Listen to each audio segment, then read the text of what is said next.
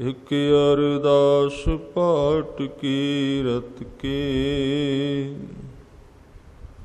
ਗੁਰੂ ਰਾਮਦਾਸ ਰਾਖੋ ਸਰਨਾਈ। ਸੋ ਕਹੋ ਟਲ ਗੁਰ ਸੇਵੀਐ।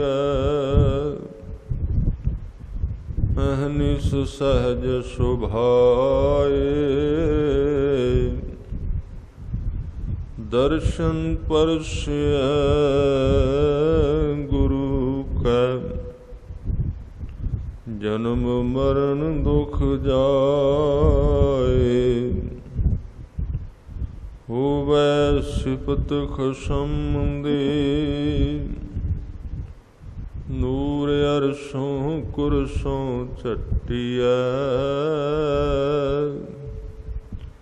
ਤੁਧ ਡਿਠੇ ਸੱਚੇ ਪਾਤਸ਼ਾਹ। ਮਲ ਜਨਮ ਜਨਮ ਦੇ ਕਟਿਐ। ਸਤਨਾਮ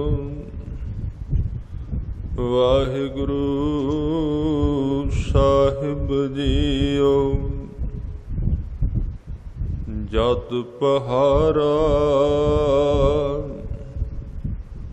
ਧੀਰਜ ਸੁਨਿਆਰ ਅਹਰਣ ਮਤ ਵੇਦ ਹਥਿਆਰ। ਭਉ ਖਲਾਂ ਅਗਨ ਤਪਤਾਓ ਪਾਂਡਾ ਭਾਉ, ਅੰਮ੍ਰਿਤ ਤਿਤ ਢਾਲ। ਘੜੀਐ ਸ਼ਬਦ ਸਚੀ ਟਕਸਾਲ। ਜਿਨ ਕੋ ਨਦਰ ਕਰਮ ਤਿਨ ਕਾਰ। ਨਾਨਕ ਨਦਰੀ ਨਦਰ ਨਿਹਾਲ। ਘੜੀਐ ਸ਼ਬਦ ਸੱਚੀ ਟਕਸਾਲ। ਜਿਨ ਕੋ ਨਦਰ ਕਰਮ, ਤਿਨ ਕਾਰ। ਨਾਨਕ ਨਦਰੀ, ਨਦਰ ਨਿਹਾਲ।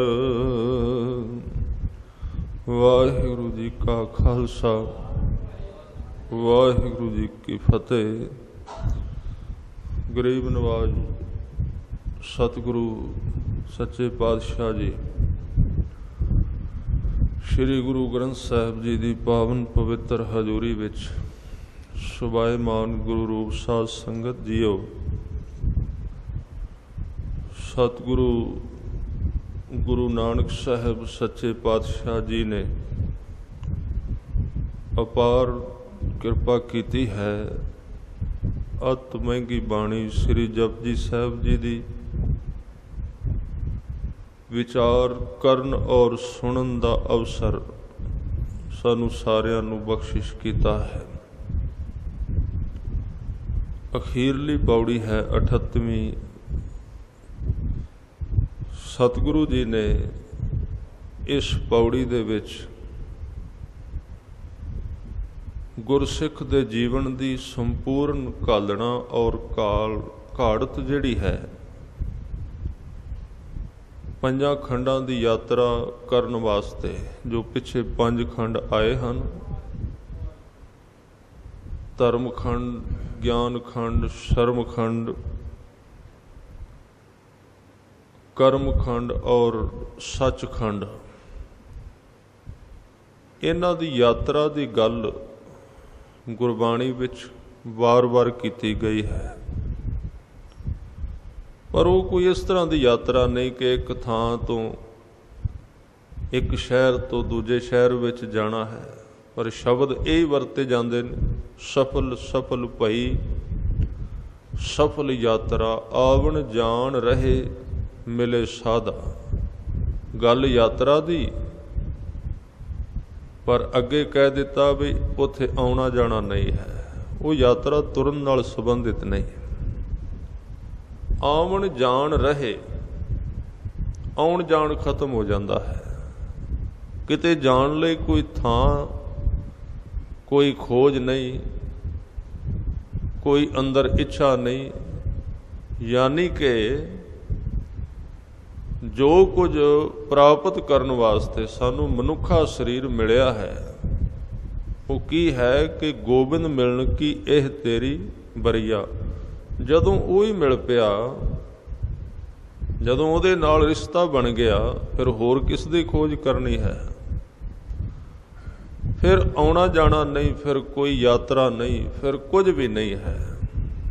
ਕਿਉਂਕਿ ਟਿਕਾਣੇ ਤੇ ਪਹੁੰਚ ਗਏ, ਘਰ ਵਿੱਚ ਚਲੇ ਗਏ। ਪਰ ਫਿਰ ਵੀ ਯਾਤਰਾ ਸ਼ਬਦ ਤਾਂ ਵਰਤਿਆ, ਉੱਥੇ ਯਾਤਰਾ ਦੇ ਅਰਥ ਸਨ ਕਿ ਆਪਣੇ ਆਪ ਨੂੰ ਘੜਨਾ। ਆਪਣੇ ਆਪ ਨੂੰ ਸਵਾਰਨਾ। ਹਰ ਇੱਕ ਚੀਜ਼ ਨੂੰ ਜੇ ਸਵਾਰੀਏ ਨਾ, ਉਹਦਾ ਰੂਪ ਹੋਰ ਹੈ। ਜਦੋਂ ਸਵਾਰ ਲਈਏ, ਉਹਦਾ ਰੂਪ ਬਦਲ ਜਾਂਦਾ ਹੈ। ਇਸੇ ਤਰ੍ਹਾਂ ਮਨ ਵੀ ਹੈ।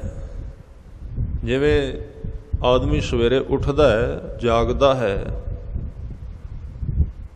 ਤਾਂ ਉਹਦਾ ਤਸਵੀਰ ਲਈ ਜਾਏ, ਉਹਦਾ ਹੋਲੀਆ ਹੋਰ ਹੈ। ਇਹਨਾਂ ਨੂੰ ਸਮਝਾ ਦਿਓ, ਹਰ ਰੋਜ਼ ਬੋਲਦੇ ਨੇ। ਜਿਹੜੇ ਜਦੋਂ ਆਦਮੀ ਸਵੇਰੇ ਉੱਠਦਾ ਹੈ, ਤਾਂ ਉਸ ਵੇਲੇ ਉਹਦੀ ਤਸਵੀਰ ਹੋਰ ਤਰ੍ਹਾਂ ਦੀ ਹੈ। ਉਹਦੇ ਕੇਸ ਇਸ ਤਰ੍ਹਾਂ ਸਵਾਰੇ ਹੋਏ ਨਹੀਂ। ਚਿਹਰਾ ਵੀ ਇੱਧਰ ਉੱਧਰ ਉਲਟ ਪੁਲਟ ਹੈ, ਕੱਪੜੇ ਵੀ ਸਿੱਧੇ ਪੁੱਠੇ ਹਨ। ਫਿਰ ਉਹ ਆਪਣੇ ਸਰੀਰ ਨੂੰ ਸਵਾਰਨ ਵਾਸਤੇ ਕੰਮ ਸ਼ੁਰੂ ਕਰਦਾ ਹੈ ਇਸ਼ਨਾਨ ਕਰਦਾ ਹੈ, ਕੇਸ ਸੰਭਾਲਦਾ ਹੈ, ਵਸਤਰ ਜਿਹੜੇ ਨੇ ਪਹਿਨਦਾ ਹੈ ਤੇ ਜਦੋਂ ਪੂਰਾ ਸਵਾਰਿਆ ਜਾਂਦਾ, ਫਿਰ ਸ਼ੀਸ਼ੇ ਅੱਗੇ ਖੜਾ ਹੋ ਕੇ ਦੇਖਦਾ ਹੈ। ਇਸੇ ਤਰ੍ਹਾਂ ਜਿੱਥੇ ਹੁਣ ਹਾਂ ਅਸੀਂ ਅਜੇ ਸੁੱਤੇ ਹੋਏ ਹਾਂ, ਫਿਰ ਜਦੋਂ ਗੁਰੂ ਨੇ ਜਗਾ ਦਿੱਤਾ ਤੇ ਪਤਾ ਲੱਗਾ ਵੀ ਕਿੰਨੇ ਬੇਤਰਤੀਬ ਹਾਂ, ਜਿਵੇਂ ਸੁੱਤਿਆ ਹੋਇਆ, ਉੱਠਿਆ ਮਨੁੱਖ, ਖਿਲਰਿਆ ਹੋਇਆ ਸਾਰਾ ਕੁਝ ਉਸ ਹਾਲਤ ਵਿੱਚ ਪਤਾ ਲੱਗਦਾ ਵੀ ਸਾਡੇ ਪੱਲੇ ਅਜੇ ਕੁਝ ਵੀ ਨਹੀਂ।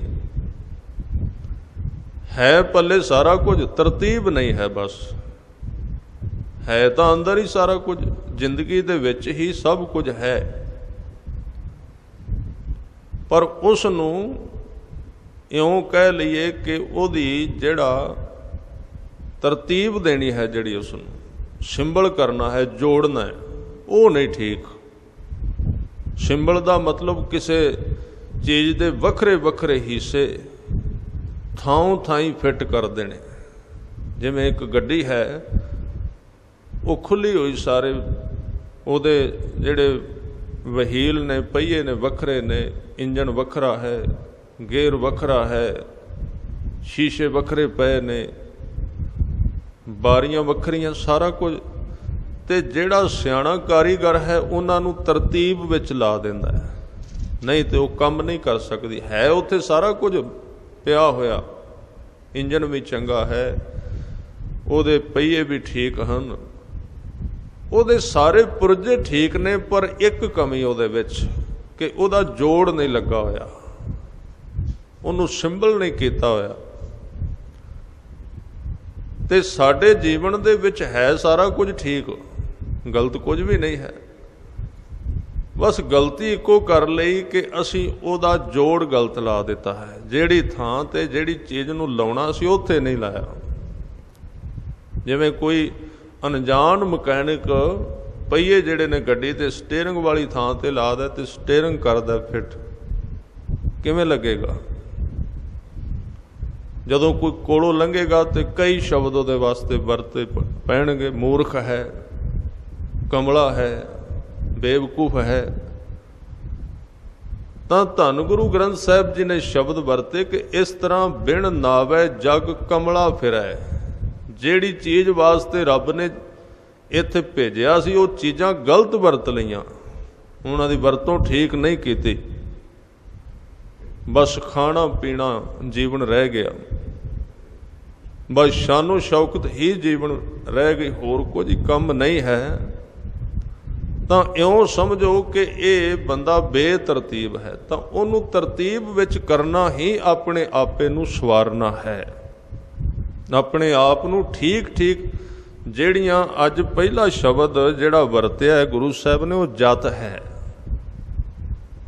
ਜਤ ਦਾ ਮਤਲਬ ਹੈ ਕਿ ਜ਼ਿੰਦਗੀ ਦੀ ਸ਼ਕਤੀ ਨੂੰ ਬਿਨਾਂ ਲੋੜ ਤੋਂ ਵਰਤੋਂ ਨਾ ਕਰਨਾ। ਉਹਨੂੰ ਕਹਿੰਦੇ ਨੇ ਜਤ। ਵੈਸੇ ਜਤ ਪਹਾਰਾ। ਵੈਸੇ ਕੁਝ ਜਤੀ ਮੰਨੇ ਗਏ ਨੇ ਹਿੰਦੁਸਤਾਨ ਦੀ ਧਰਤੀ ਤੇ। ਲక్ష్మణ ਉਹਨਾਂ ਵਿੱਚ ਆਉਂਦਾ ਹੈ, ਹੋਰ ਵੀ ਆਉਂਦੇ ਨੇ।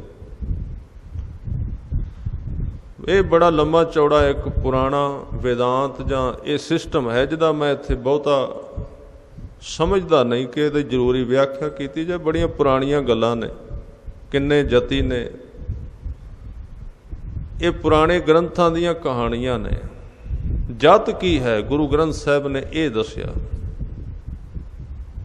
ਜਤ ਦੇ ਅਰਥ ਇੱਕ ਭਾਵਨਾ ਦੇ ਵਿੱਚ ਉਹ ਸਰੀਰ ਜਿਨੇ ਘਾਲਣਾ ਕਰ ਕਰਕੇ ਆਪਣੀ ਵਾਸ਼ਨਾ ਨੂੰ ਡਿਵੈਲਪ ਕਰ ਲਿਆ ਆਪਣੀ ਵਾਸ਼ਨਾ ਨੂੰ, ਆਪਣੀ ਸਾਰੀ ਜੀਵਨ ਦੀ ਸ਼ਕਤੀ ਨੂੰ ਰੱਬ ਦੇ ਪਿਆਰ ਵਿੱਚ ਲਾ ਦਿੱਤਾ ਹੈ। ਫਿਰ ਉਹਦੀ ਹੋਰ ਵਾਸ਼ਨਾ ਨਹੀਂ ਬਚਦੀ, ਉਹਦੀ ਇੱਛਾ ਨਹੀਂ ਰਹਿੰਦੀ। ਵਾਸ਼ਨਾ ਰਹਿਤ ਹੋ ਜਾਂਦਾ ਹੈ। ਉਹਦੀ ਵਾਸ਼ਨਾ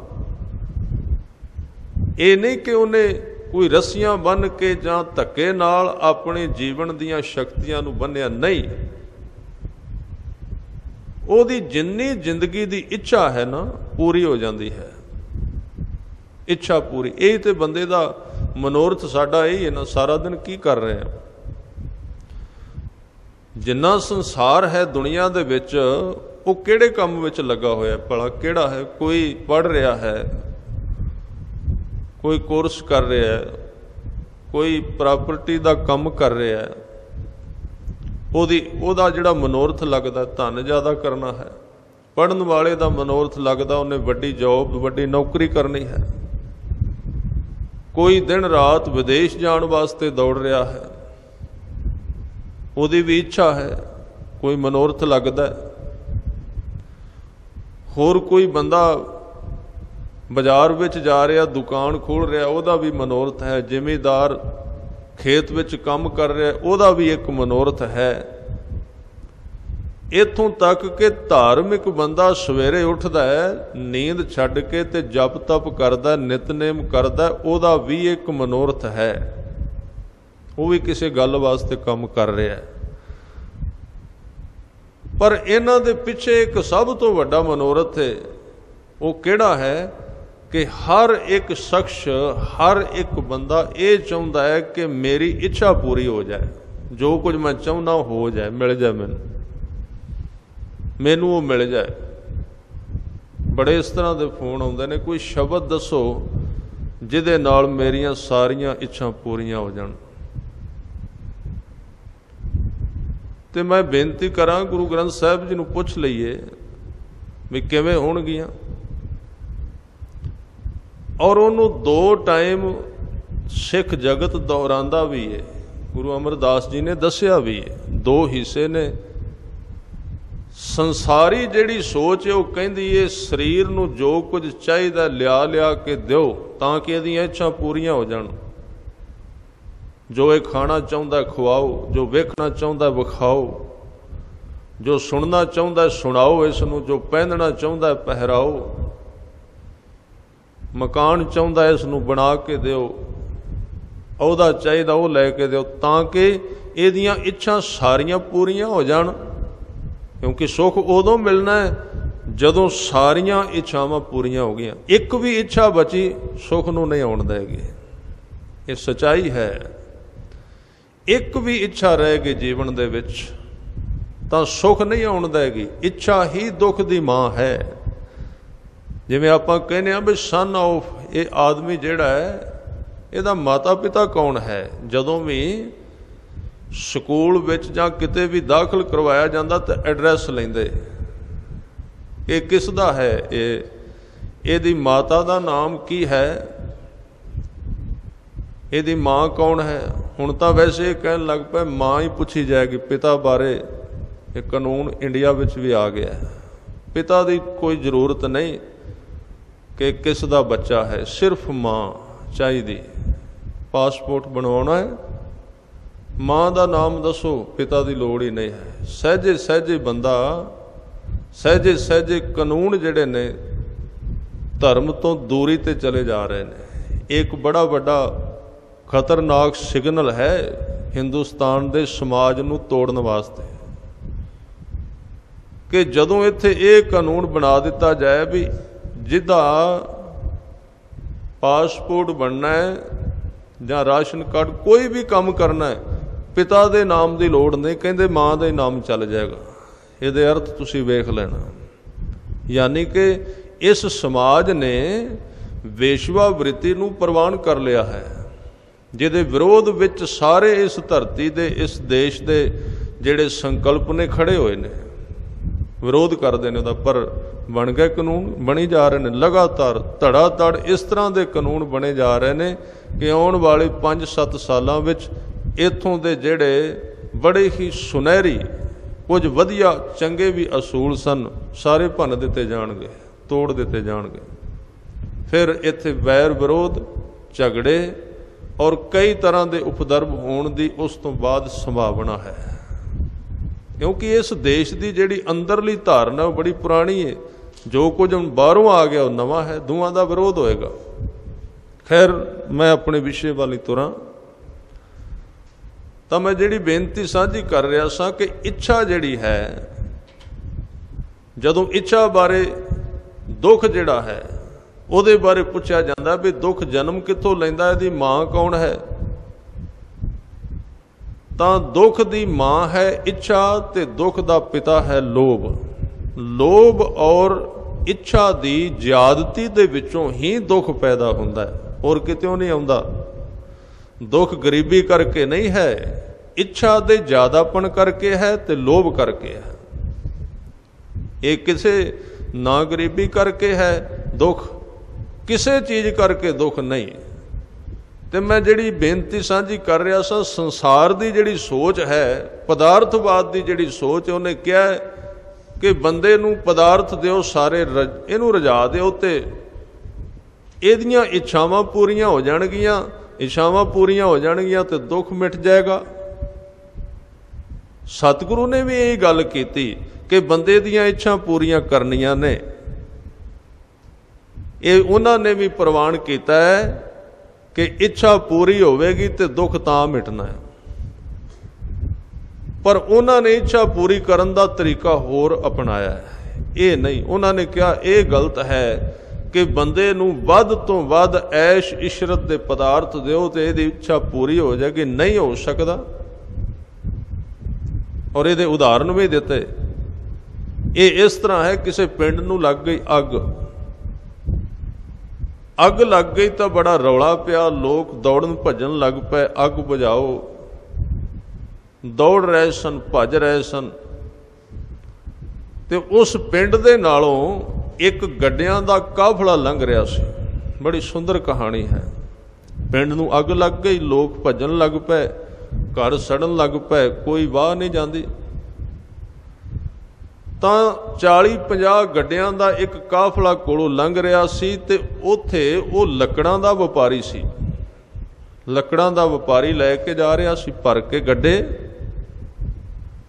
ਤਾਂ ਪਿੰਡ ਦੇ ਕੁਝ ਲੋਕ ਦੌੜ ਕੇ ਉਹਦੇ ਕੋਲ ਆਏ ਵੀ ਤੇਰੇ ਕੋਲ 40 50 ਬੰਦੇ ਨੇ, ਤੂੰ ਪਰਉਪਕਾਰ ਕਰ, ਉਪਰਾਲਾ ਕਰ ਲੈ। ਪਿੰਡ ਦੀ ਪਿੰਡ ਦੀ ਅੱਗ ਬੁਝਾ ਦੇ। ਆਦਮੀ ਚੰਗਾ ਸੀ ਪਰ ਸਿਆਣਾ ਨਹੀਂ ਸੀ, ਮੂਰਖ ਸੀ। ਚੰਗੇ ਹੋਣ ਵਿੱਚ ਤੇ ਬੜਾ ਫ਼ਰਕ ਹੈ, ਚੰਗਾ ਹੋਣਾ ਹੋਰ ਚੀਜ਼ ਹੈ। ਤੇ ਗੁਰੂ ਦੀ ਮੱਤ ਵਾਲਾ ਸਿਆਣਾ ਬੰਦਾ ਹੋ ਜਾ ਹੋਰ ਚੀਜ਼ ਹੈ। ਚੰਗਾ ਹੋਣ ਦੇ ਕੋਈ ਅਰਥ ਨਹੀਂ ਹਨ। ਹੈ ਚੰਗਾ ਸੀ, ਉਹਨੇ ਕਿਹਾ ਕੋਈ ਗੱਲ ਨਹੀਂ ਪਰਉਪਕਾਰ ਹੈ। ਸਾਰੇ ਆਪਣੇ ਜਿਹੜੇ ਨੌਕਰ ਸਨ, ਗੱਡਿਆਂ ਵਾਲੇ, ਜਿਨ੍ਹਾਂ ਦੇ ਉੱਤੇ ਲੱਕੜਾਂ ਲੱਦੀਆਂ ਸਨ, ਕਹਿਣ ਲੱਗੇ, ਬਸ ਕਾਲੀ ਨਾਲ ਜਲਦੀ ਕਰੋ ਆਪੋ ਆਪਣੇ ਗੱਡਿਆਂ ਦੀਆਂ ਲੱਕੜਾਂ ਲਾ ਕੇ ਅੱਗ ਦੇ ਉੱਤੇ ਵਗਾ ਦਿਓ, ਅੱਗ ਬੁੱਝ ਜਾਏਗੀ। ਉਹਨਾਂ ਨੇ ਹੁਕਮ ਦੀ ਤਾਮੀਲ ਕੀਤੀ। ਲੱਕੜਾਂ ਸਿੱਟਣੀਆਂ ਸ਼ੁਰੂ ਕਰਦੇ ਹੁਣ ਲੱਕੜਾਂ ਨਾਲ ਅੱਗ ਬੁੱਝਦੀ ਥੋੜੀ ਲੱਕੜਾਂ ਨਾਲ ਤੇ ਹੋਰ ਬਲਦੀ ਭਾਂਬੜ ਹੋਰ ਤੇਜ਼ ਹੋ ਗਿਆ। ਉਹ ਇੱਕ ਅੱਧ ਸੜਿਆ ਬਜ਼ੁਰਗ ਵਿੱਚੋਂ ਨਿਕਲ ਰਿਹਾ ਸੀ, ਭੱਜ ਕੇ ਆ ਰਿਹਾ। ਉਹਨੇ ਕਿਹਾ ਮੂਰਖ ਕਿਧਰੋਂ ਆ ਗਿਆ ਜਿਹੜਾ ਲੱਕੜਾਂ ਨਾਲ ਅੱਗ ਬੁਝਾਈ ਜਾਂਦਾ ਹੈ? ਲੱਕੜਾਂ ਨਾਲ ਕਦੀ ਅੱਗ ਬੁਝਦੀ ਹੈ? ਤੇ ਕੋਲੋਂ ਉਸੇ ਜੰਗਲ ਵਿੱਚੋਂ ਇੱਕ ਸਾਧੂ ਲੰਘ ਰਿਹਾ ਸੀ, ਕਹਿਣ ਲੱਗੇ, ਇੱਕ ਮੂਰਖ ਨੇ, ਇੱਥੇ ਕਈ ਕਰੋੜ ਮੂਰਖ ਨੇ। ਜਿਵੇਂ ਇਹ ਲੱਕੜਾਂ ਨਾਲ ਅੱਗ ਬੁਝਾ ਰਿਹਾ, ਉਹ ਕਈ ਕਰੋੜ ਪਦਾਰਥਾਂ ਨਾਲ ਜੀਵਨ ਦੇ ਦੁੱਖ ਦੀ ਅੱਗ ਬੁਝਾ ਰਹੇ ਨੇ। ਫ਼ਰਕ ਕੋਈ ਨਹੀਂ। ਇਹ ਕੱਲਾ ਨਹੀਂ ਜੇ ਮੂਰਖ, ਇੱਥੇ ਮੂਰਖਾਂ ਦੇ ਕਈ ਅਰਬ ਨੇ। ਉਹ ਸਾਰੇ ਇਹ ਕਰ ਰਹੇ ਨੇ। ਤਾਂ ਉਹਨੇ ਕਿਹਾ ਵੀ ਪਾਣੀ ਨਾਲ ਬੁਝ ਸਕਦੀ। ਇਹਦਾ ਵਿਰੋਧੀ ਤੱਤ ਪਾਣੀ ਹੈ ਜਾਂ ਮਿੱਟੀ ਨਾਲ ਬੁਝ ਸਕਦੀ ਹੈ। ਦੋ ਚੀਜ਼ਾਂ ਅੱਗ ਨੂੰ ਬੁਝਾ ਸਕਦੀਆਂ ਨੇ। ਮਿੱਟੀ ਜਾਂ ਪਾਣੀ ਜਾਂ ਉਹਦੇ ਵੱਲ ਜਾਂਦੀ ਹੋਈ ਹਵਾ ਨੂੰ ਬੰਦ ਕਰ ਦਿਓ, ਫਿਰ ਬੁਝ ਜਾਏਗੀ। ਹਵਾ ਨਾਲ ਬਲਦੀ ਅੱਗ। ਜੇ ਹਵਾ ਨਾਲ ਉਹਦਾ ਸੰਪਰਕ ਟੁੱਟ ਜਾ ਤਾਂ ਬੁਝਦੀ। ਤਾਂ ਇਸ ਤਰ੍ਹਾਂ ਜਿਹੜਾ ਜਤ ਹੈ, ਗੁਰੂ ਸਾਹਿਬ ਨੇ ਕਿਹਾ, ਇੱਛਾ ਪੂਰੀਆਂ ਕਰਨ ਦਾ ਤਰੀਕਾ ਇਹ ਠੀਕ ਨਹੀਂ। ਹਾਂ, ਇਹ ਗੱਲ ਸੱਚੀ ਹੈ ਕਿ ਇੱਛਾ ਪੂਰੀਆਂ ਹੋਣਗੀਆਂ ਤੇ ਤਾਂ ਬੰਦਾ ਸੁਖੀ ਹੋਵੇਗਾ। ਤੇ ਗੁਰੂ ਅਮਰਦਾਸ ਜੀ ਨੂੰ ਕਿਸੇ ਪੁੱਛਿਆ, ਤੁਸੀਂ ਕਿਹੜਾ ਤਰੀਕਾ ਲੱਭਿਆ? ਤੇ ਸਾਹਿਬ ਨੇ ਬਚਨ ਕੀਤੇ, ਕਹਿੰਦੇ, ਸਾਚਾ ਨਾਮ ਮੇਰਾ ਆਧਾਰੂ, ਸਾਚ ਨਾਮ ਆਧਾਰ ਮੇਰਾ।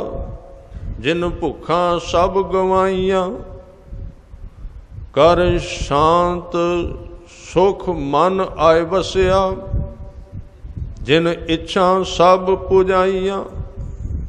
ਚੀਜ਼ ਦੇ ਦਿੱਤੀ ਸਾਡੇ ਹੱਥ ਵਿੱਚ। ਹਾਂ, ਇਹ ਗੱਲ ਖਿਆਲ ਰੱਖਣਾ, ਇਸ ਚੀਜ਼ ਬਾਰੇ ਕੁਝ ਜਾਣਕਾਰੀ ਹੋਣੀ ਚਾਹੀਦੀ ਕੱਲਾ ਨਹੀਂ ਕਿ ਪਾਣੀ ਨਾਲ ਅੱਗ ਬੁਝਦੀ ਹੈ ਜੀ, ਪਾਣੀ ਨਾਲ ਅੱਗ ਬੁਝਦੀ ਕੀ ਅਰਥ ਹੋ ਸਕਦੇ? ਪਾਣੀ ਨੂੰ ਤੇ ਹੱਥ ਵੀ ਨਹੀਂ ਪਾਇਆ ਕਦੀ। ਅੱਗ ਇੱਕ ਥਾਂ ਤੇ ਬਲਦੀ ਏ, ਪਾਣੀ ਬਾਰੇ ਸੁਣ ਲਿਆ ਪੜ ਲਿਆ, ਬੋਲ ਲਿਆ, ਗਾ ਲਿਆ ਉਸ ਪਾਣੀ ਦੀ ਕਦੀ ਬੁੱਕ ਭਰੀ ਵੀ ਹੈ? ਨਾਮ ਨਾਲ ਇਹ ਹੋ ਜਾਂਦਾ ਜੀ, ਨਾਮ। ਫਿਰ ਉਹ ਨਾਮ ਕੀ ਹੈ? ਉਹਨੇ ਕੰਮ ਕੀਤਾ ਕਿਉਂ ਨਹੀਂ? ਤਾਂ ਨਾਮ ਨੇ ਗੁਰੂ ਸਾਹਿਬ ਕਹਿੰਦੇ ਕਿ ਨਾਮ ਦਾ ਜਦੋਂ ਆਦਮੀ ਨੂੰ ਆਧਾਰ ਮਿਲ ਜਾਏ ਨਾ ਆਧਾਰ ਦਾ ਮਤਲਬ ਪਤਾ ਕੀ ਹੁੰਦਾ? ਜਿਵੇਂ ਸਵੇਰੇ ਬੰਦਾ ਉੱਠਿਆ ਨਾ, ਉਹਦੇ ਅੰਦਰ ਉਹਦੇ ਸਰੀਰ ਦਾ ਆਧਾਰ ਕੋਈ ਨਹੀਂ, ਉਹਨੇ ਖਾਦਾ ਕੁਝ ਨਹੀਂ ਅਜੇ। ਖਾਲੀ ਹੈ, ਤਾਂ ਉਹਦਾ ਸਰੀਰ ਡੋਲੇਗਾ। ਖਾਲੀ ਹੈ ਉਹਦਾ ਅੰਦਰ। ਤਾਂ ਉਹ ਫਿਰ ਆਧਾਰ ਲੈਂਦਾ ਹੈ, ਕਿਸੇ ਚੀਜ਼ ਨੂੰ ਥੋੜਾ ਜਿਹਾ ਖਾਂਦਾ ਹੈ, ਤਾਂ ਕਿ ਸਰੀਰ ਵਿੱਚ ਊਰਜਾ ਬਣੇ, ਚੱਲੇ ਸਰੀਰ। ਇਸ ਤਰ੍ਹਾਂ ਮਨ ਦੇ ਪਹਿਲੇ ਹਿੱਸੇ ਵਿੱਚ ਆਰੰਭ ਦੇ ਵਿੱਚ ਨਾਮ ਜਾਣਾ ਚਾਹੀਦਾ ਔਰ ਧੰਨ ਗੁਰੂ ਰਾਮਦਾਸ ਜੀ ਨੇ ਤਾਂ ਹੀ ਕਿਹਾ ਕਿ ਗੁਰਸਿੱਖ ਉਹਨੂੰ ਕਹਿੰਦੇ ਨੇ ਜਿਹੜਾ ਉੱਠਦਿਆਂ ਸਾਰ ਨਾਮ ਨਾਲ ਜੁੜਦਾ ਹੈ। ਗੁਰ ਸਤਗੁਰ ਕਾ ਜੋ ਸਿੱਖ ਅਖਾਏ, ਸੋ ਭਲਕੇ ਉਠ, ਹਰ ਨਾਮ ਧਿਆਵੈ। ਇਹ ਸਾਚ ਨਾਮ ਆਧਾਰ ਮੇਰਾ ਜਿਨ ਭੁੱਖਾਂ ਸਭ ਗਵਾਈਆਂ, ਕਰ ਸ਼ਾਂਤ ਸੁਖ ਮਨ ਆਏ ਵਸਿਆ। ਜਿਨ ਇੱਛਾ ਸਭ ਪੁਜਾਈਆਂ ਕੀਤੀਆਂ ਨਾਮ ਨੇ ਵੀ ਇੱਛੇ ਪੂਰੀਆਂ ਕਿਉਂਕਿ ਰਸਤਾ ਹੀ ਇੱਕੋ ਹੈ। ਤਾਂ ਬੇਨਤੀ ਕਰ ਰਿਹਾ ਸੀ, ਜਤ ਕਿਨੂੰ ਕਹਿੰਦੇ ਨੇ? ਜਤ ਪਹਾਰਾ ਜਤ ਦਾ ਮਤਲਬ ਹੈ ਕਿ ਜਿਹੜੀ ਸਾਨੂੰ ਰੱਬ ਨੇ ਦਾਤ ਦਿੱਤੀ ਹੈ ਨਾ ਸ਼ਕਤੀ, ਜਿਹਦੇ ਨਾਲ ਅਸੀਂ ਬੋਲ ਰਹੇ ਹਾਂ, ਵੇਖ ਰਹੇ ਹਾਂ, ਕੰਮ ਕਰ ਰਹੇ ਹਾਂ, ਸੋਚ ਰਹੇ ਹਾਂ, ਉਸ ਸ਼ਕਤੀ ਦੀ ਵਰਤੋਂ ਨਜਾਇਜ਼ ਨਾ ਕਰਨੀ, ਬਿਨਾਂ ਲੋੜ ਤੋਂ ਉਹਨੂੰ ਨਾ ਵਰਤਣਾ। ਉਹਨੂੰ ਕਹਿੰਦੇ ਨੇ ਜਤ। ਵੈਸੇ ਭਾਈ ਸਾਹਿਬ, ਭਾਈ ਗੁਰਦਾਸ ਜੀ ਨੇ ਇਹਦੀ ਹੋਰ ਡੂੰਗੀ ਵਿਆਖਿਆ ਕਰ ਦਿੱਤੀ। ਜਤੀ ਤੇ ਮੰਨਿਆ ਜਾਂਦਾ ਸੀ ਪੁਰਾਣੇ ਸਮੇਂ ਵਿੱਚ ਲక్ష్మణ ਨੂੰ। ਤਾਂ ਉਹ ਰਾਮਚੰਦਰ ਦੇ ਭਰਾ ਸਨ। ਤੇ ਸੀਤਾ ਜੀ ਨੂੰ ਮਾਤਾ ਕਹਿੰਦੇ ਸਨ, ਨਾਲ ਰਹਿੰਦੇ ਸਨ। ਰੱਖਿਆ ਕਰਦੇ ਉਹਨਾਂ ਦੀ। ਤਾਂ ਉਹਨਾਂ ਨੂੰ ਕਿਹਾ ਗਿਆ, ਜਤੀ ਹੈ। ਤਾਂ ਉਹਨਾਂ ਬਾਰੇ ਮੰਨਿਆ ਜਾਂਦਾ ਸੀ ਕਿ ਉਹਨਾਂ ਨੇ ਸੀਤਾ ਦੇ ਸਿਰਫ ਪੈਰ ਵੇਖੇ ਸਨ, ਚਰਨ। ਤਾਂ ਉਹਨਾਂ ਨੂੰ ਕਹਿੰਦੇ ਜਤੀ ਸਨ। ਪਰ ਆਮ ਤੌਰ ਤੇ ਬੰਦਾ ਜਦੋਂ ਜਤੀ ਹੋ ਜਾਂਦਾ ਹੈ ਨਾ, ਕ੍ਰੋਧੀ ਜ਼ਰੂਰ ਹੁੰਦਾ ਹੈ। ਬੜੇ ਬੜੇ ਜਤੀ ਨੇ ਜਿਹੜੇ ਕ੍ਰੋਧੀ ਹੋ ਜਾਂਦੇ ਨੇ, ਚੰਚਲ ਹੋ ਜਾਂਦੇ ਵੈਸੇ ਟਿਕੇ ਰਹਿੰਦੇ ਨੇ। ਵੈਸੇ ਤਾਂ ਉਹ ਬੜੇ ਸ਼ਾਂਤ, ਪਰ ਉਹਨਾਂ ਨੂੰ ਥੋੜੀ ਜਿਹੀ ਟੁੰਕਾਰ ਲਾ ਦਿਓ ਤਾਂ ਇੰਨਾ ਕ੍ਰੋਧ ਇੱਕਦਮ ਨਿਕਲਦਾ ਅੰਦਰੋਂ, ਜਿਹਨੂੰ ਸੰਭਾਲਣਾ ਔਖਾ ਹੋ ਜਾਂਦਾ ਹੈ, ਕਿਉਂਕਿ ਸ਼ਕਤੀ ਅੰਦਰ ਇਕੱਠੀ ਹੋਈ ਪਈ ਹੈ। ਕ੍ਰੋਧੀ ਬੜੇ ਨੇ। ਇਸ ਕਰਕੇ ਜਿਹੜਾ ਬੰਦਾ ਜਪੀ ਤਪੀ ਬਹੁਤ ਹੈ ਤੇ ਸੰਜਮੀ ਜ਼ਿਆਦਾ ਹੈ, ਜਤੀ ਜ਼ਿਆਦਾ ਹੈ, ਜੇ ਉਹ ਪ੍ਰੇਮੀ ਨਹੀਂ, ਤੇ ਕ੍ਰੋਧੀ ਬੜਾ ਹੋ ਜਾਏਗਾ। ਕਿਉਂਕਿ ਸ਼ਕਤੀ ਅੰਦਰ ਇਕੱਠੀ ਹੋ ਗਈ, ਰਾਹ ਉਹਨੂੰ ਮਿਲਿਆ ਨਹੀਂ। ਉਹਨੂੰ ਜਿਹੜਾ ਬਦਲਣਾ ਸੀ ਉਹ ਤਰੀਕਾ ਲੱਭਿਆ ਨਹੀਂ ਤੇ ਲక్ష్మణ ਜਤੀ ਸਨ। ਪਰ ਨਾਮ ਜਿਹੜੀ ਚੀਜ਼ ਹੈ ਉਹਦੇ ਤੋਂ ਬਿਨਾ ਜਤ ਕੰਮ ਨਹੀਂ ਦਿੰਦਾ। ਹੁਣ ਇੱਕ ਪਾਸੇ ਜਤੀ ਸਨ, ਇੱਕ ਪਾਸੇ ਤੇ ਇਸਤਰੀ ਵੇਖੀ ਨਹੀਂ ਤੇ ਦੂਸਰੇ ਪਾਸੇ ਰਾਵਣ ਦੀ ਭੈਣ ਆਈ, ਸਰੂਪ ਸਰੂਪਨਖਾ ਉਹਦਾ ਨੱਕ ਹੀ ਕੱਟ ਦਿੱਤਾ, ਇੰਨਾ ਕ੍ਰੋਧ ਆ ਗਿਆ, ਪਤਾ ਹੀ ਨਹੀਂ ਲੱਗਾ। ਇਸ ਨੱਕ ਕੱਟਣ ਤੋਂ ਹੀ ਸਾਰੇ ਪਵਾੜੇ ਸ਼ੁਰੂ ਹੋਏ ਸਨ। ਆਰੰਭਤਾ ਸੀਤਾ ਹਰਨ ਤੋਂ ਨਹੀਂ ਹੋਈ। ਜੋ ਕੁਝ ਹੋਇਆ ਕਿ ਲੰਕਾ ਤੇ ਚੜਾਈ ਹੋਈ ਜਾਂ ਰਾਵਣ ਮਾਰਿਆ ਗਿਆ ਜਾਂ ਇਹਨੇ ਲੋਕ ਮਾਰੇ ਗਏ, ਸੀਤਾ ਨੂੰ ਹਰਨ ਕਰਕੇ ਲੈ ਗਿਆ, ਕਈ ਕੁਝ ਚੱਲਦਾ ਨਾ। ਅੱਜ ਤੱਕ ਰਾਵਣ ਨੂੰ ਮਾਰਿਆ ਜਾਂਦਾ, ਸਾੜਿਆ ਜਾਂਦਾ ਦੁਸਹਿਰੇ ਵਾਲੇ ਦਿਨ। ਪਰ ਉਹਦੀ ਜੜ ਕਿੱਥੋਂ ਸ਼ੁਰੂ ਹੋਈ? ਆਰੰਭਤਾ ਕਿੱਥੋਂ ਹੋਈ? ਜਿਹੜਾ ਇਸ ਯੁੱਗ ਦੇ ਵਿੱਚ ਬੜਾ ਵੱਡਾ ਯੁੱਧ ਹੋਇਆ। ਰਾਮ ਚੰਦਰ ਤੇ ਰਾਵਣ ਦਾ ਔਰ ਸੀਤਾ ਹਰਨ ਹੋਈ, ਫਿਰ ਸੀਤਾ ਦੀ ਅਗਨੀ ਪ੍ਰੀਖਿਆ ਕੀਤੀ, ਫਿਰ ਉਹਨੇ ਆਪਣਾ ਸਰੀਰ ਹੀ ਸਮੇਟ ਲਿਆ। ਕਈ ਕੁਝ ਹੋਇਆ ਨਾ। ਜਿਹਦਾ ਬੀਜ ਵੇਖੋ ਕਿੱਥੇ ਹੈ? ਜੜ ਕਿੱਥੇ ਹੈ ਸਾਰੇ ਕੁਝ ਦੀ? ਕਿਉਂ ਹੋਇਆ? ਸੀਤਾ ਨੂੰ ਹਰਨ ਕਿਉਂ ਕੀਤਾ ਰਾਵਣ ਨੇ? ਰਾਵਣ ਕੋਈ ਆਮ ਬੰਦਾ ਇਸ ਤਰ੍ਹਾਂ ਦਾ ਨਹੀਂ ਸੀ। ਕੋਈ ਉਹ ਕੈਰੈਕਟਰਲੈਸ ਆਦਮੀ ਨਹੀਂ ਸੀ। ਉਹ ਸਿਰਫ ਉਹਨੇ ਵਿਰੋਧ ਵਿੱਚ ਕੀਤਾ ਹੈ। ਕਿਉਂਕਿ ਪਹਿਲਾਂ ਰਾਵਣ ਦੀ ਭੈਣ ਦਾ ਨੱਕ ਕੱਟਿਆ ਗਿਆ, ਕਾਰਨ ਇਹ ਸੀ। ਨੱਕ ਕਿਉਂ ਕੱਟਿਆ ਗਿਆ? ਇੱਕ ਬੰਦਾ ਜਤੀ ਸੀ ਤਾਂ ਕਰਕੇ। ਜਤੀ ਬਹੁਤਾ ਸੀ ਤੇ ਬਹੁਤਾ ਜਤੀ ਬਹੁਤਾ ਕ੍ਰੋਧੀ ਸੀ। ਇਸ ਕਰਕੇ ਕ੍ਰੋਧ ਵਿੱਚ ਪਤਾ ਹੀ ਨਹੀਂ ਲੱਗਾ ਵੀ ਇੰਜਾਮ ਕੀ ਹੋਵੇਗਾ ਇਹਦਾ। ਕੱਟ ਦਿੱਤਾ ਨੱਕ। ਤਾਂ ਜਿਹਦੀ ਭੈਣ ਦਾ ਨੱਕ ਕੱਟਦਾ ਕੋਈ ਤੁਸੀਂ ਆਪਣੇ ਆਪ ਹਿਸਾਬ ਲਾਓ ਵੀ ਕੀ ਕਰੇਗਾ ਉਹ ਵਾਪਸੀ। ਕੀ ਦੋਸ਼ ਦਿਓਗੇ ਉਸ ਨੂੰ ਦੋਸ਼ ਨਹੀਂ ਦਿੱਤਾ ਜਾ ਸਕਦਾ। ਹੋਰ ਉਹ ਕਰੇਗਾ ਵੀ ਕੀ? ਜਾਂ ਤਾਂ ਉਹ ਫਿਰ ਦੁਨੀਆ ਤੋਂ ਇੱਕ ਸਾਈਡ ਹੋ ਜਾਏ, ਨਿਕਲ ਜਾਏ, ਪਾਸੇ ਹੋ ਜਾਏ। ਜੇ ਉਹਨੇ ਸੰਸਾਰ ਵਿੱਚ ਰਹਿਣਾ ਹੈ ਤੇ ਉਹਨੂੰ ਵਾਪਸੀ ਕਾਰਵਾਈ ਕਰਨੀ ਪੈਗੀ ਹੋਰ ਕੀ ਕਰੇਗਾ ਉਹ? ਤਾਂ ਉਸ ਵੱਡੇ ਉਪਦਰਵ ਦਾ ਵੱਡੀ ਲੜਾਈ ਦਾ ਕਾਰਨ ਇੱਕ ਜਤੀ ਆਦਮੀ ਹੈ, ਜਿਹੜਾ ਬੜਾ ਵੱਡਾ ਜਤੀ ਹੈ। ਪਰ ਗੁਰੂ ਸਾਹਿਬ ਨੇ ਕਿਹਾ ਵੀ ਜਤ ਸਿੱਖੀ ਵਿੱਚ ਵੀ ਹੈ, ਪਰ ਇਸ ਤਰ੍ਹਾਂ ਦਾ ਨਹੀਂ। ਹਾਂ ਥੋੜੇ ਜਿਹੇ ਸਰੀਰ ਹਰ ਇੱਕ ਕੌਮ ਵਿੱਚ ਰਹਿੰਦੇ, ਭਾਵੇਂ ਸਿੱਖੀ ਗ੍ਰਸਤੀ ਹੈ। ਆਪਾਂ ਕਹਿੰਦੇ ਆ ਗ੍ਰਸਤ ਧਰਮ ਪ੍ਰਵਾਨ ਹੈ। ਪਰ ਹਰ ਇੱਕ ਕੌਮ ਨੂੰ ਚਲਾਉਣ ਵਾਸਤੇ ਨਾ ਥੋੜੇ ਜਿਹਾ ਜ਼ਿਆਦਾ ਕੰਮ ਕਰਨ ਵਾਸਤੇ ਥੋੜੇ ਜਿਹਾ ਸਰੀਰ, ਇਹ ਸਾਨੂੰ ਸਾਨੂੰ ਵੀ ਸਮਝ ਲੈਣੇ ਚਾਹੀਦੇ ਸੀ। ਕਈ ਵਾਰੀ ਨਿੰਦਿਆ ਕਰਦੇ ਨੇ ਆ ਵੀ ਜਿਹੜਾ ਬੰਦਾ ਪਰਿਵਾਰਕ ਨਹੀਂ ਹੈ, ਉਹ ਸਿੱਖ ਨਹੀਂ ਹੋ ਸਕਦਾ, ਸਿੱਖੀ ਤੋਂ ਬਾਹਰ ਹੈ। ਔਰ ਇਹਦੀਆਂ ਉਦਾਹਰਨਾਂ ਦਿੱਤੀਆਂ ਜਾਂਦੀਆਂ ਵੀ ਗੁਰੂ ਸਾਹਿਬਾਨ ਨੇ ਸ਼ਾਦੀਆਂ ਕਰਵਾਈਆਂ ਸਨ। ਪਰ ਉਹਨਾਂ ਦੇ ਵਕਤ ਵਿੱਚ ਵੀ ਐਸੇ ਬੰਦੇ ਆਏ ਸਨ ਜਿਨ੍ਹਾਂ ਨੂੰ ਕੰਮ ਇੰਨਾ ਪੈ ਗਿਆ ਵੀ ਸ਼ਾਦੀ ਦਾ ਵਕਤ ਨਹੀਂ ਮਿਲਿਆ। ਤੁਸੀਂ ਦੂਰ ਨਾ ਜਾਓ, ਭਾਈ ਗੁਰਦਾਸ ਜੀ ਨੇ ਕਿੱਥੇ ਵਿਆਹ ਕਰਵਾਇਆ ਸੀ? ਨਹੀਂ ਨਾ ਕਰਾਇਆ ਉਹਨਾਂ ਨੇ। ਔਰ ਜੇ ਉਹ ਕਰਾ ਲੈਂਦੇ, ਕਿਉਂ ਨਹੀਂ ਕਰਾਇਆ? ਕਿਉਂਕਿ ਕੰਮ ਹੀ ਇੰਨਾ ਸੀ, ਕੰਮ ਬਹੁਤਾ ਸੀ। ਪਰਿਵਾਰ ਬੜੀ ਵੱਡੀ ਉਲਝਣ ਹੈ ਜਿਸ ਬੰਦੇ ਨੇ ਜ਼ਿਆਦਾ ਕੰਮ ਕਰਨਾ ਹੈ। ਬੜੀ ਉਹਦੀ એનર્ਜੀ ਨੂੰ ਖਰਾਬ ਕਰਦਾ ਉਹ। ਬੜੀ ਤਾਕਤ ਲੱਗਦੀ ਉਹਦੀ। ਤਾਂ ਭਾਈ ਗੁਰਦਾਸ ਜੀ ਆਰੰਭ ਤੋਂ ਹੀ ਗੁਰੂ ਅਮਰਦਾਸ, ਗੁਰੂ ਰਾਮਦਾਸ, ਗੁਰੂ ਅਰਜਨ ਦੇਵ ਜੀ ਦੇ ਵਕਤ ਗੁਰੂ ਸਾਹਿਬ ਨੇ ਕਿਹਾ ਵੀ ਅਸੀਂ ਇੱਕ ਇਸ ਤਰ੍ਹਾਂ ਦੀ ਸ਼ਖਸੀਅਤ ਪੈਦਾ ਕਰਨੀ ਹੈ, ਸਿੱਖੀ ਦੀ ਜਿਹੜੀ ਸਾਰੀ ਵਿਆਖਿਆ ਕਰਦਾ ਹੈ। ਤੇ ਭਾਈ ਗੁਰਦਾਸ ਜੀ ਨੂੰ ਚੁਣ ਲਿਆ। ਔਰ ਉਹਨਾਂ ਨੂੰ ਹੁਕਮ ਦਿੱਤਾ ਵੀ ਤੁਸੀਂ ਵੱਧ ਤੋਂ ਵੱਧ ਧਰਮਾਂ ਦਾ ਮੁਤਾਲਿਆ ਕਰੋ। ਬੜੀ ਖੋਜ ਸਾਰਾ ਸਾਰਾ ਦਿਨ ਪੜਨਾ 10-10 ਘੰਟੇ। ਪੜ੍ਹਦੇ ਰਹੇ, ਅਭਿਆਸ ਕਰਦੇ ਰਹੇ। ਤਾਂ ਜਦੋਂ ਵਕਤ ਆਇਆ, ਸ਼ਾਦੀ ਦਾ ਇਨਕਾਰ ਕਰ ਦਿੱਤਾ, ਕਿਉਂਕਿ ਕੰਮ ਅਜੇ ਬਹੁਤ ਰਹਿੰਦਾ ਸੀ। ਤੇ ਜੇ ਉਹ ਇਧਰ ਤੁਰ ਪੈਂਦੇ, ਸ਼ਾਦੀ ਦੇ ਵਿਰੋਧ ਵਿੱਚ ਨਹੀਂ ਹੋ ਭਾਈ ਗੁਰਦਾਸ ਜੀ, ਕਿਉਂਕਿ ਆਪ ਲਿਖਦੇ ਨੇ ਕਿ ਸਗਲ ਧਰਮ ਮੈਂ ਗ੍ਰਸਤ ਪਰ, ਪ੍ਰਵਾਨ ਹੈ। ਆਪ ਲਿਖਦੇ ਨੇ ਗ੍ਰਸਤੀ ਹੋਣਾ ਚਾਹੀਦਾ, ਪਰ ਆਪ ਕਿਉਂ ਨਹੀਂ ਬਣੇ? ਕੀ ਕਾਰਨ ਹੋ ਗਿਆ? ਕੰਮ ਬਹੁਤਾ ਸੀ। 500 ਤੋਂ ਉੱਪਰ ਕਵਿਤ ਲਿਖਣੇ ਸਨ। ਵਾਰਾਂ ਲਿਖਣੀਆਂ ਸਨ। ਕਿੰਨਾ ਕੰਮ ਕਰਨਾ ਸੀ? ਗੁਰੂ ਗ੍ਰੰਥ ਸਾਹਿਬ ਜੀ ਨੂੰ ਦੀ ਸੰਪਾਦਨਾ ਕਰਨੀ ਸੀ। ਛੋਟਾ ਕੰਮ ਹੈ? ਆ ਬੰਦਾ ਤੇ ਇੱਕ ਛੋਟਾ ਜਿਹਾ ਟਰੈਕਟ ਲਿਖ ਕੇ ਨਾ ਦੂਜੇ ਦਿਨ ਟੀਵੀ ਵਿੱਚ ਐਡ ਦੇਗਾ ਤੀਜੇ ਦਿਨ ਉਹਨੂੰ ਰਿਲੀਜ਼ ਕਰਾ ਕਿੰਨਾ ਕੁਝ ਕਰਨੇ ਆ ਨਾ ਅਸੀਂ। ਗੁਰੂ ਗ੍ਰੰਥ ਸਾਹਿਬ ਦੀ ਸੰਪਾਦਨਾ। 2 ਸਾਲ ਲਗਾਤਾਰ ਚੌਂਕੜਾ। ਲਗਾਤਾਰ ਦਾ ਮਤਲਬ ਥੋੜਾ ਜਿਹਾ ਸਮਾਂ ਵੀ ਇਸ਼ਨਾਨ ਪਾਣੀ ਕਰਨਾ, ਲੰਗਰ ਛਕਣਾ, ਥੋੜਾ ਜਿਹਾ ਆਰਾਮ, ਫਿਰ ਲਿਖਣਾ ਫਿਰ ਲਿਖਣਾ, ਛੋਟੀ ਗੱਲ ਹੈ।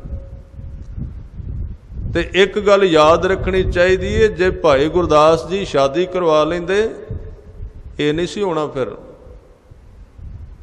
ਕਿਉਂਕਿ ਫਿਰ ਹਫ਼ਤੇ ਦੇ ਸਾਰੇ ਦਿਨ ਬਿਜੇ, ਕਦੀ ਖੰਡ ਮੁੱਕ ਗਈ, ਕਦੀ ਪੱਤੀ ਖਤਮ ਹੋ ਗਈ।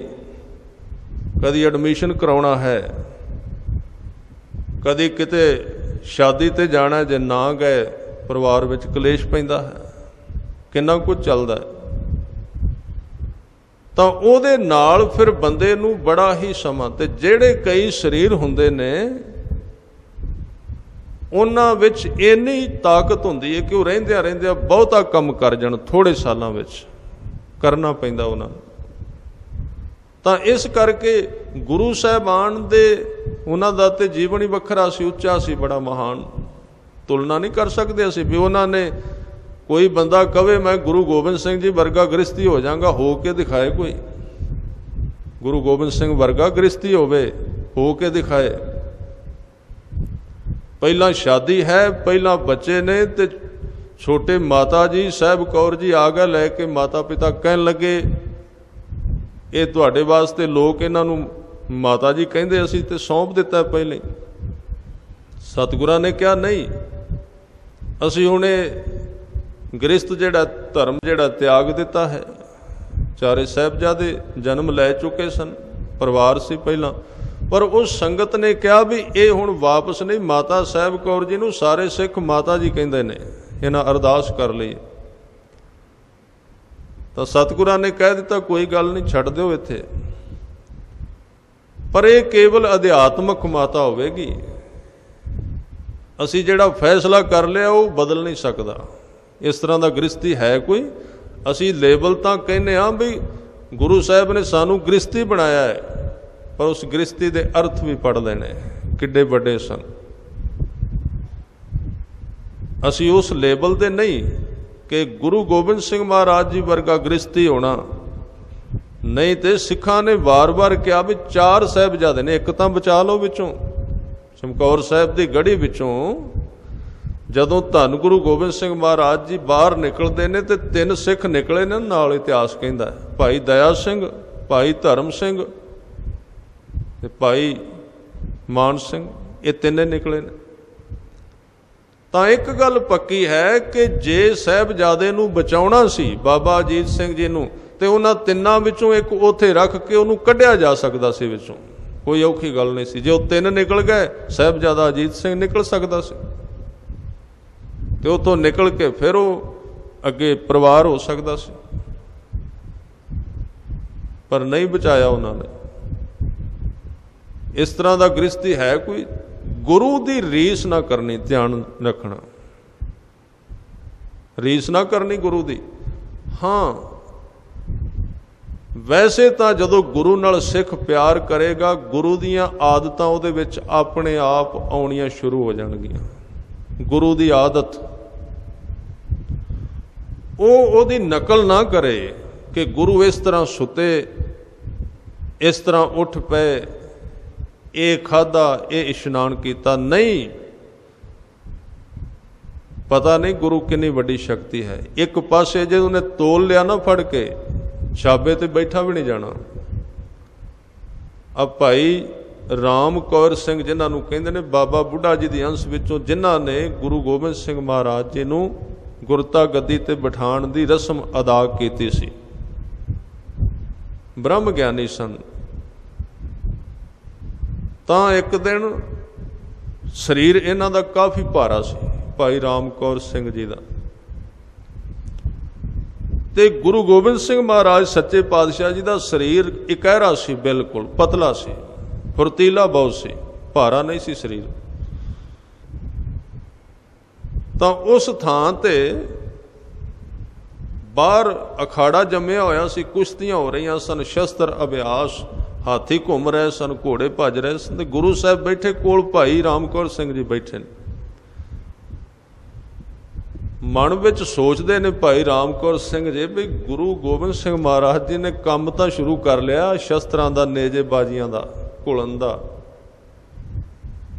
ਤੇ ਜਾਂ ਤੇ ਆਪਾਂ ਪੰਜੀਰੀ ਬਣਾ ਕੇ ਖਵਾਈਏ ਗੁਰੂ ਗੋਬਿੰਦ ਸਿੰਘ ਮਹਾਰਾਜ ਨੂੰ, ਸਰੀਰ ਬੜਾ ਔਲਾ ਹੈ। ਇਹ ਜੰਗ ਕਿਵੇਂ ਕਰਨਗੇ? ਬਦਾਮ ਲਿਆ ਕੇ ਦਈਏ ਜੰਮੂ ਕਸ਼ਮੀਰ ਵਿੱਚੋਂ।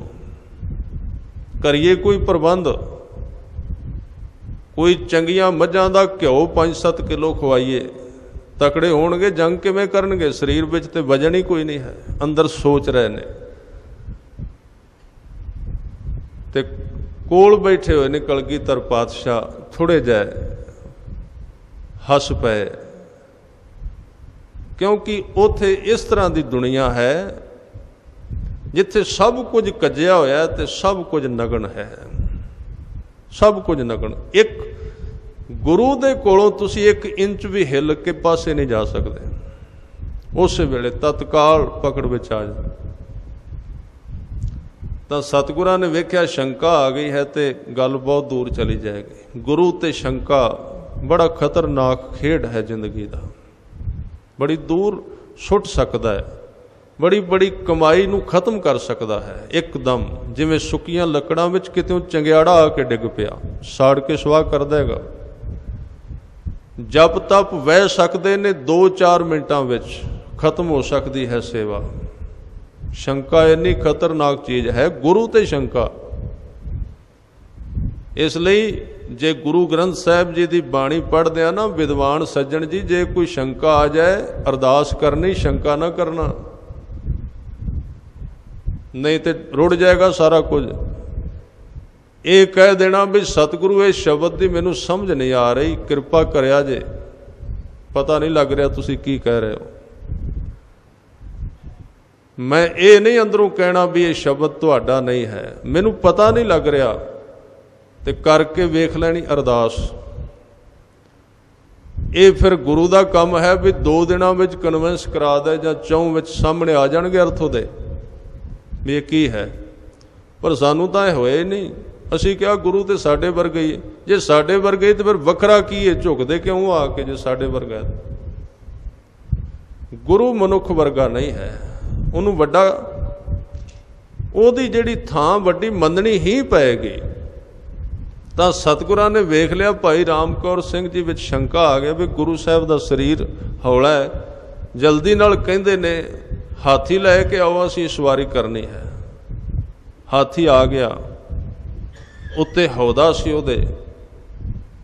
ਕੋਲ ਆਣ ਕੇ ਹਥਵਾਨ ਨੇ ਬਿਠਾ ਦਿੱਤਾ। ਜਿਵੇਂ ਹਾਥੀ ਬੈਠ ਜਾਂਦਾ, ਤਾਂ ਉਹਦੇ ਤੇ ਸਵਾਰੀ ਹੁੰਦੀ ਹੈ।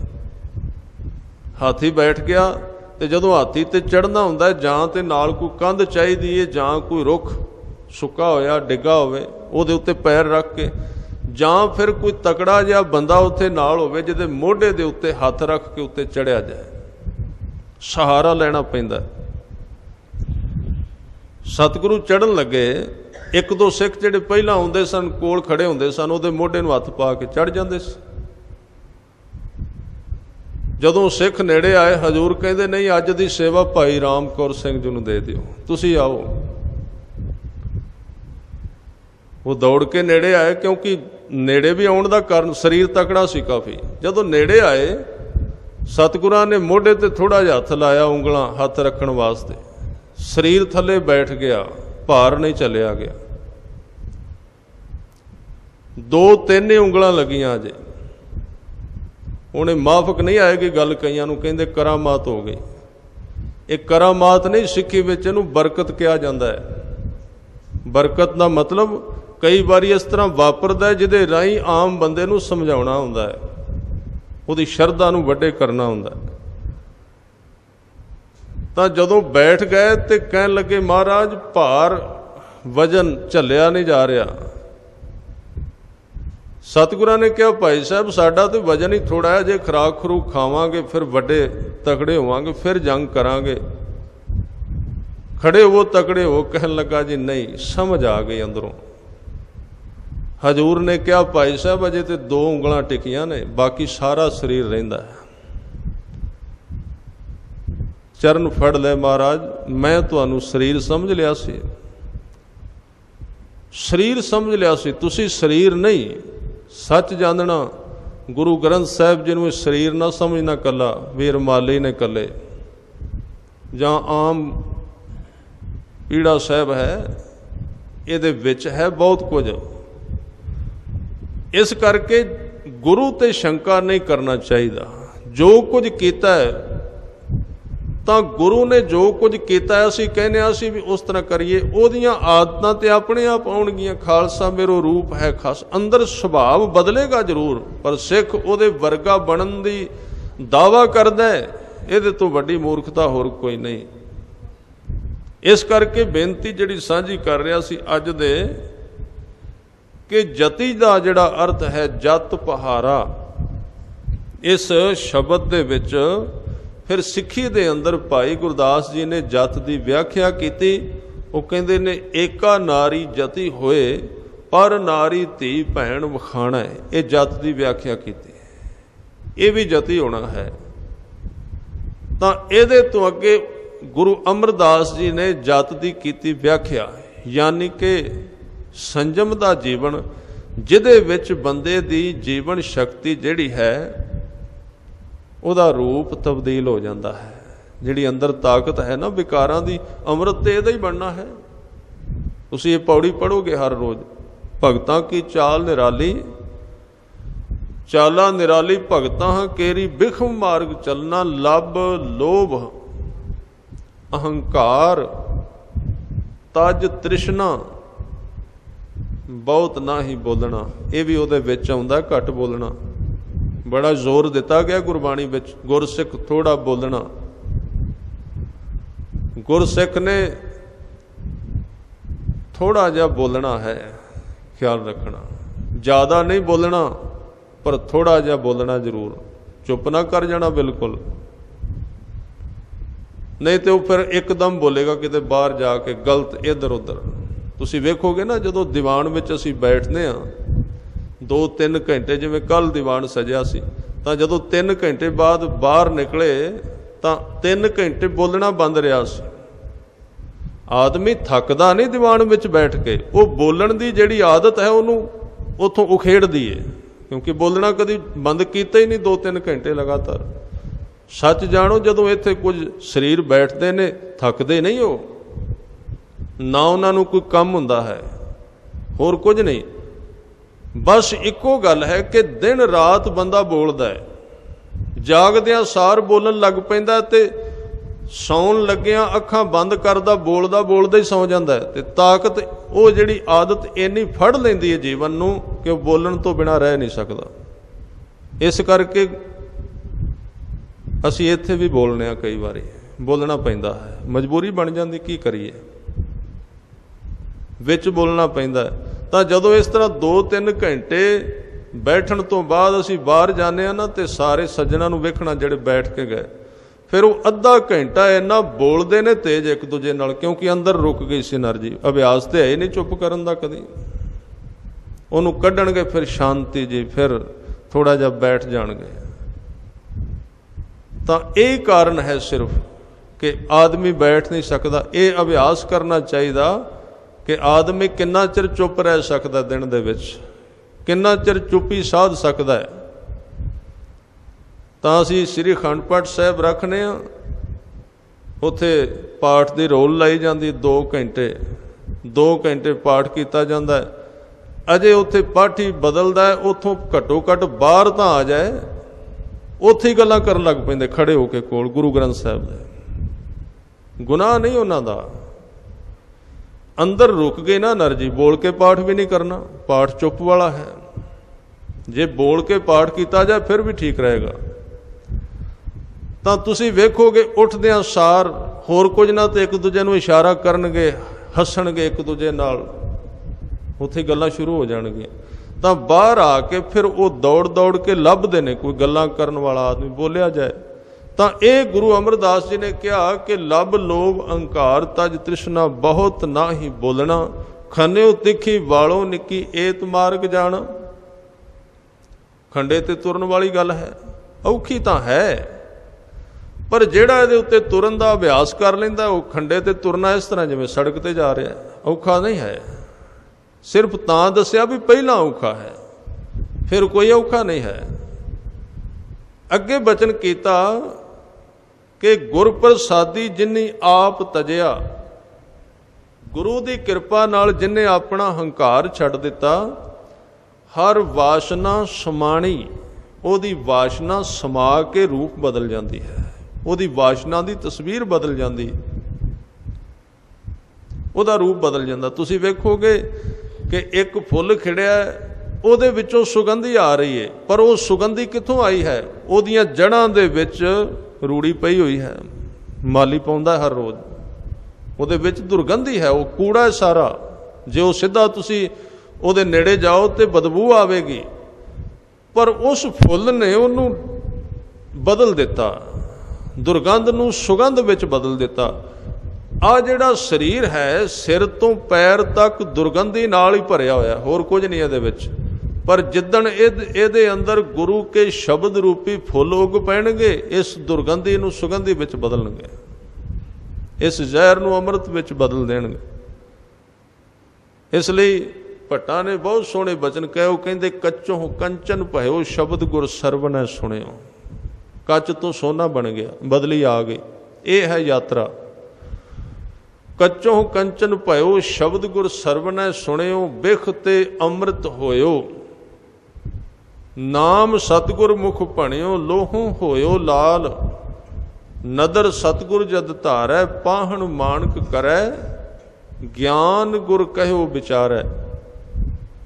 ਕਾਠੋਂ ਸ੍ਰੀ ਖੰਡ ਸਤਗੁਰ ਕੀਓ? ਕਾਠੋਂ ਦਾ ਮਤਲਬ ਕਾਠ, ਆਮ ਲੱਕੜ। ਸ੍ਰੀਖੰਡ ਦਾ ਮਤਲਬ ਹੈ ਚੰਦਨ। ਆਮ ਲੱਕੜ ਤੋਂ ਚੰਦਨ ਬਣਾ ਦਿੱਤਾ। ਕਾਠੋਂ ਸ੍ਰੀ ਖੰਡ ਸਤਗੁਰ ਕੀਓ? ਦੁੱਖ ਦਰਿਦਰ ਤਿਨ ਕੇ ਗਏ, ਸਤਗੁਰ ਚਰਨ ਜਿਨ ਪਰਸਿਆ, ਸੇ ਪਸ਼ ਪ੍ਰੇਤ ਸੁਰ ਨਰ ਪਏ ਬਲਿਹਾਰੀ ਗੁਰ ਆਪਣੇ ਦਿਵਹਾੜੀ ਸਦਵਾਰ, ਜਿਨ ਮਾਨਸ ਤੇ ਦੇਵਤੇ ਕੀਏ, ਕਰਤ ਨ ਲਾਗੀ ਪਾਰ ਗੁਰੂ ਵਿੱਚ ਇਹ ਮਹਿਮਾ ਵਡਿਆਈ ਹੈ। ਇਹ ਵਿਸ਼ਾ ਬਹੁਤ ਲੰਬਾ ਹੈ ਕਿ ਕਰਤ ਨ ਲਾਗੀ ਬਾਰ, ਸਮਾਂ ਨਹੀਂ ਲੱਗਦਾ। ਬਾਰ ਦਾ ਮਤਲਬ ਇੱਥੇ ਦੇਰ ਹੈ। ਬਾਰ ਦੇ ਅਰਥ ਬਾਰ ਵੀ ਹੁੰਦਾ, ਦਰਵਾਜ਼ਾ ਵੀ ਕਹਿੰਦੇ ਨੇ। ਔਰ ਬਾਰ ਦੇ ਅਰਥ ਵਾਰੀ ਵੀ ਹੁੰਦੇ ਨੇ ਕਿ ਅੱਜ ਵਾਰੀ ਹੈ ਇਸ ਚੀਜ਼ ਦੀ। ਬਾਰ ਦਾ ਅਰਥ ਇੱਕ ਬਾਰ ਦਾ ਇਲਾਕਾ ਵੀ ਹੈ, ਉਹਨੂੰ ਬਾਰ ਦਾ ਇਲਾਕਾ ਕਹਿੰਦੇ। ਪਰ ਇੱਥੇ ਬਾਰ ਦੇ ਅਰਥ ਨੇ ਦੇਰ।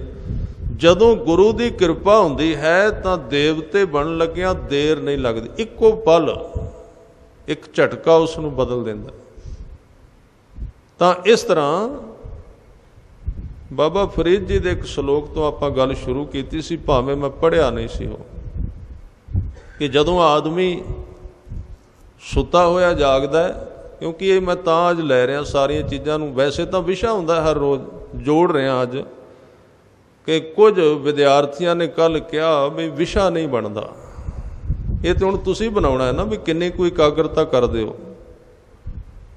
ਆ ਥੋੜਾ ਜਿਹਾ ਇੱਥੇ ਜਿਹੜਾ ਮਠਿਆਈਆਂ ਦੇ ਡੱਬੇ ਆਉਂਦੇ ਨੇ, ਇਹਨਾਂ ਤੋਂ ਬਚ ਕੇ ਰਹੀਏ ਤੇ ਫਿਰ ਵਿਸ਼ਾ ਬਣੇਗਾ, ਫਿਰ ਇਕਾਗਰਤਾ ਹੋਵੇਗੀ। ਇਹ ਤਾਂ ਸਾਧਨਾ ਹੈ ਨਾ ਜਿਹੜੀ ਵਿਦਿਆ ਹੈ। ਵਿਸ਼ਾ ਹੈ ਸਾਰਾ, ਵਿਸ਼ਾ ਹਰ ਰੋਜ਼ ਹੁੰਦਾ ਹੈ, ਪਰ ਜੋੜਨਾ ਤਾਂ ਉਹਨੂੰ ਤੁਸੀਂ ਹੈ ਨਾ। ਹੁਣ ਇਹ ਸਾਰਾ ਵਿਸ਼ਾ ਆਪਾਂ ਬਣਾਇਆ ਹੈ ਕਿ ਇੱਕ ਆਦਮੀ ਜਦੋਂ ਸੁੱਤਾ ਹੋਇਆ, ਜਾਗਦਾ ਹੈ, ਤਾਂ ਉਹ ਸਵਾਰਿਆ ਹੋਇਆ ਨਹੀਂ ਹੁੰਦਾ। ਇੱਥੋਂ ਗੱਲ ਸ਼ੁਰੂ ਹੋਈ ਸੀ। ਉਹਦੇ ਕੇਸ ਖਿਲ ਰਹੇ ਨੇ। ਪਰ ਜਾਗਣ ਤੋਂ ਬਾਅਦ ਉਹ ਇਸ਼ਨਾਨ ਕਰਕੇ ਵਸਤਰ ਪਹਿਨ ਦਾ ਤਿਆਰ ਹੁੰਦਾ ਹੈ, ਸਵਾਰਦਾ ਆਪਣੇ ਆਪ ਤਾਂ ਉਹ ਫਿਰ ਬਦਲ ਜਾਂਦਾ ਹੈ ਤੇ ਖੰਡਾਂ ਦੀ ਯਾਤਰਾ ਜਿਹੜੀ ਹੈ, ਇੱਕ ਪਿੰਡ ਤੋਂ ਦੂਜੇ ਜਾਣ, ਪਿੰਡ ਜਾਣ ਦੀ ਯਾਤਰਾ ਨਹੀਂ ਇਹ ਹੈ ਆਪਣੇ ਆਪ ਨੂੰ ਬਦਲਣ ਦੀ ਯਾਤਰਾ। ਤਾਂ ਜਿਸ ਨੂੰ ਬਾਬਾ ਫਰੀਦ ਜੀ ਨੇ ਕਿਹਾ, ਉਹ ਕਹਿੰਦੇ, ਆਪ ਸਵਾਰ ਹੈ, ਮੈਂ ਮਿਲਾਂ ਸਵਾਰਨ ਦਾ ਮਤਲਬ ਹੈ ਤਾਂ ਪਹਿਲੇ ਹੀ ਸੀ ਸਾਰਾ ਕੁਝ ਵਿੱਚ। ਕੇਸ ਤਾਂ ਉਹ ਹੀ ਨੇ ਨਾ, ਜਿਹੜੇ ਖਿਲਰੇ ਹੋਏ ਸੀ, ਹੁਣ ਸਵਾਰ ਦਿੱਤੇ ਗਏ, ਠੀਕ ਕਰ ਦਿੱਤੇ ਗਏ। ਚਿਹਰਾ ਉਹ ਹੀ ਸੀ। ਹੁਣ ਇਸ਼ਨਾਨ ਕਰ ਦਿੱਤਾ ਗਿਆ, ਤਿਆਰ ਹੋ ਗਏ। ਆਪਣੇ ਆਪ ਨੂੰ ਸਵਾਰ ਲਿਆ। ਇਹਦੇ ਭਾਵ ਨੇ ਕਿ ਜਦੋਂ ਬੰਦਾ ਆਪਣੇ ਮਨ ਦੇ ਵਿੱਚ ਖਿਲਰੀਆਂ ਹੋਈਆਂ ਚੀਜ਼ਾਂ ਨੂੰ ਸਵਾਰ ਲੈਂਦਾ, ਉਹਨੂੰ ਕਹਿੰਦੇ ਆਪ ਸਵਾਰ ਹੈ। ਸਰੀਰ ਦੀ ਗੱਲ ਨਹੀਂ ਇੱਥੇ। ਸਰੀਰ ਤਾਂ ਸਵਾਰ ਲਿਆ। ਸਰੀਰ ਦੇ ਉੱਤੇ ਤਾਂ ਸਿਸਟਮ ਲਾ ਲਿਆ। ਬੜੀ ਸੋਹਣੀ ਪ੍ਰੈਸ ਸੀ, ਕੋਈ ਵੱਟ ਨਹੀਂ। ਧੱਬੇ ਸਾਰੇ ਉਤਾਰ ਦਿੱਤੇ, ਦਾਗ ਵੀ ਲੈ ਗਏ। ਪਰ ਕੁਝ ਵੱਟ ਅੰਦਰ ਪਏ ਹੋਏ ਨੇ, ਕੁਝ ਧੱਬੇ ਅੰਦਰ ਲੱਗੇ ਹੋਏ ਨੇ। ਉਹਨਾਂ ਨੂੰ ਸਵਾਰਨ ਦੀ ਗੱਲ ਕੀਤੀ ਗਈ, ਜਿਹੜੀ ਇਹ ਪੰਜ ਖੰਡਾਂ ਦੀ ਯਾਤਰਾ ਉਹ ਹੈ। ਤਾਂ ਬਾਬਾ ਫਰੀਦ ਜੀ ਕਹਿੰਦੇ, ਆਪ ਸਵਾਰ ਹੈ ਮੈਂ ਮਿਲੈ, ਮੈਂ ਮਿਲਿਆ, ਸੁਖ ਹੋਏ। ਜੇ ਤੂੰ ਮੇਰਾ ਹੋਏ ਰਹੈ, ਸਭ ਜਗ ਤੇਰਾ ਹੋਏ।